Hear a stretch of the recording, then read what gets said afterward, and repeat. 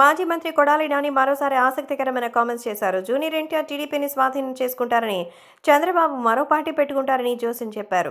రెండు వేల ఇరవై నాలుగు ఎన్నికల్లో బీజేపీ టీడీపీ కలిసి పోటీ చేస్తాయన్నారు. రెండు వేల ఇరవై నాలుగు ఎన్నికల్లో ఎన్టీఆర్ బీజేపీ పార్టీ కలిసి పోటీ చేస్తాయన్నారు. చంద్రబాబు కొత్త పార్టీ జనసేన కలిసి పోటీ చేసి చిత్తు చిత్తుగా ఓడిపోతారన్నారు. జూనియర్ ఎన్టీఆర్ టీడీపీని స్వాధీనం చేసుకుంటారని మరోసారి సంచలన వ్యాఖ్యలు చేశారు మాజీ మంత్రి కొడాలి నాని. కొడాలిన్నని అడిగారనో లక్ష్మీపార్వతి చెప్పారనో జూనియర్ ఎన్టీఆర్ తెలుగుదేశం పార్టీ పగ్గాలు తీసుకోరన్నారు. టైం వచ్చినప్పుడు ఎన్టీఆర్ పార్టీ పగ్గాలు చేపడతారు. రెండు వేల ఇరవై నాలుగు ఎన్నికల్లో టీడీపీ బీజేపీ కలిసి పోటీ చేస్తాయి. టీడీపీ పగ్గాలు ఎన్టీఆర్ తీసుకోవడంతో చంద్రబాబు కొత్త పార్టీ పెట్టుకుని జనసేనతో కలిసి పోటీ చేస్తారు. వచ్చే సార్వత్రిక ఎన్నికల్లో చంద్రబాబు పవన్ కళ్యాణ్కు లాస్ట్ ఎన్నికలు. ఇద్దరికి డిపాజిట్లు కూడా రావు.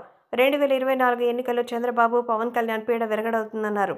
వైసీపీ ఎప్పుడు సింగిల్గానే పోటీ చేస్తుందని మాజీ మంత్రి కొడాల నాని అన్నారు. మరోవైపు బీజేపీ టీడీపీ కలిసి పోటీ చేస్తాయని చంద్రబాబు పవన్ కూటమి వైసీపీ వస్ ఓడిస్తుందని అంటున్నారు.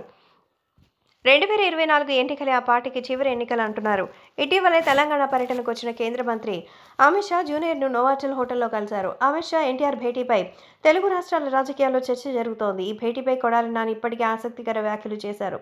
అమిత్ షా ఉపయోగం లేకుండా ఎవరితో ఒక నిమిషం కూడా మాట్లాడరు. బీజేపీని విస్తరించేందుకే జూనియర్ ఎన్టీఆర్తో అమిత్ షా భేటీ అయ్యారు. ఆ పా ఎన్టీఆర్ పాన్ ఇండియా స్టార్ కాబట్టి ఆయన సేవలు ఉపయోగించుకున్నారని మరి బీజేపీ టీడీపీ నేతలు చూస్తున్నారు. మొత్తానికి కుప్పంలో అడ్రస్ ఓటర్ కార్డు లేనటువంటి చంద్రబాబు సీఎం జగన్ ఎన్నికల్లో ఏ విధంగా సవాల్ విసురుతారు. సీఎం జగన్ దెబ్బకి టీడీపీ జనసేన బీజేపీ వచ్చే ఎన్నికల్లో కకావికలం అవుతాయంటున్నారు.